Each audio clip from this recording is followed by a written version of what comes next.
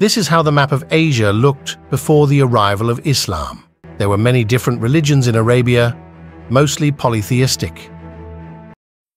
إن الحمد لله نحمده ونستعينه ونستغفره ونؤمن به ونعوذ بالله من شرور أنفسنا ومن سيئات أعمالنا من يهد الله فلا مضل له ومن يضلل فلا هادي له.